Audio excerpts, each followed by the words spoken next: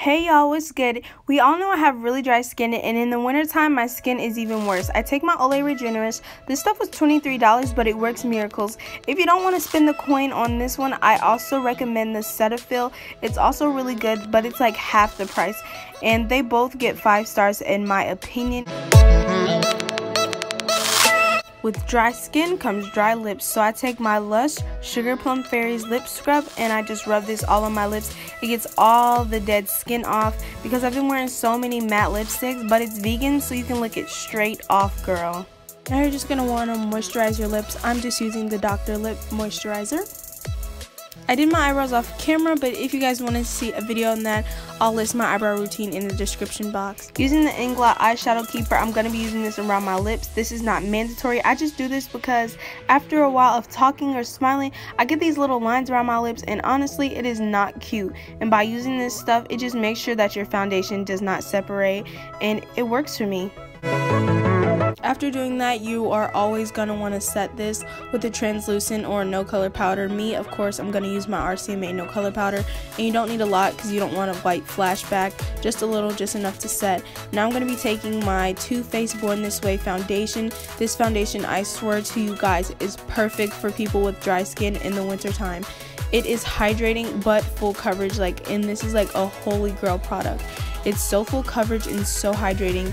Your face, if you have dry skin, will thank you so much. I love this stuff and you can find it at your Sephora. And I'm in the shade Chestnut if any of you guys were wondering.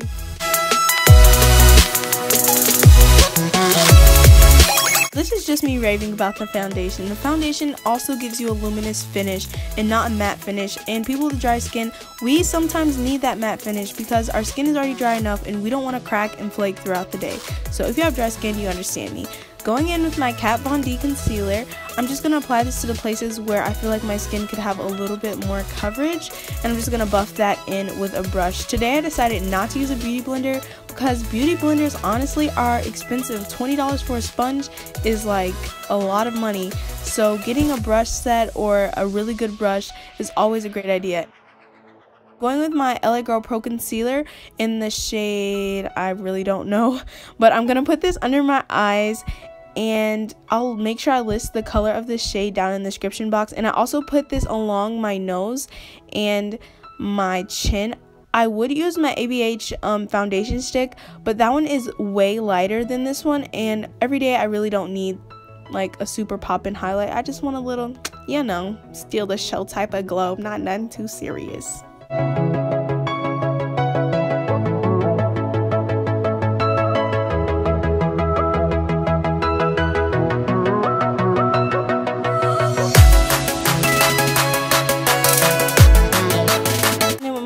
powder again. I'm going to apply that under my eyes. I'm not going to be baking and i'm not going to be using a lot.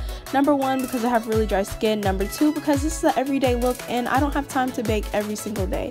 But i'm also going to be putting this on my forehead just to remove some of that luminous glow. I mean i like the glow but i like a matte finish too so i'm just going to be a little bit more matte. And i'm just going to pat that in really good because this stuff will leave you with a white cast if you don't taking my ABH contour set, I'm going to contour my face and just blend that out with, what brush is this? I think it's the Coastal Scents brush. I'll list all the brushes I use down in the description box and if you check out my Black Friday haul, the brushes that I'm using are in that haul as well.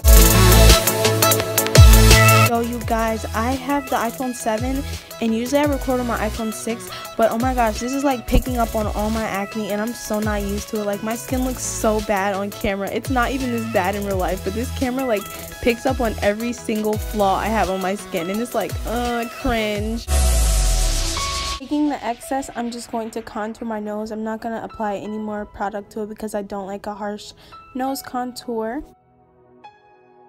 Going back in, I'm going to clean up that contour so it's not going down too low so that it doesn't look muddy. All of that jazz girl can't look muddy. So I'm just going to take a little bit of this powder and apply it under there. And I'm also going to set my eyes with that so that any foundation or any product that got on my eyes does not crease on me. Taking the LA Girl Pro Face Powder, I'm going to set my contour Y'all not ready for it, but I'm going to take this Milani Tantastic. And this stuff right here is going to make the sun kiss your cheeks. Like, this makes you so glowy. It is a bronzer, but it's perfect as a highlighter. And guess what? It was $10 and you could probably find it at Target on sale for like 7 or $8 and you're always going to want to take this up your nose and usually I don't put highlighter on my forehead because it is already big enough child. But today I went a little crazy and I put it on my forehead put it on my chin. I went all out. Also took this on my brow bone because it just made my brows look so much better and so much more structured and I don't wear lashes I mix these two mascaras and it gives me perfect lashes Hopping right over to my Morphe 350S palette, I'm going to take this light shade and put it right in the inner corners of my eyes. If you think this is doing too much, don't do it. It's your face. You do your own makeup however you like it. If you want to keep this lip, keep it. If not, I'm switching to the ColourPop matte lip cream matte lipstick in the shade Viper. It's really pretty. This is the completed look, you guys. This is my everyday winter skin routine. I hope you guys liked it. If you did like it, make sure you like, comment, subscribe, share with your friends. Love you guys.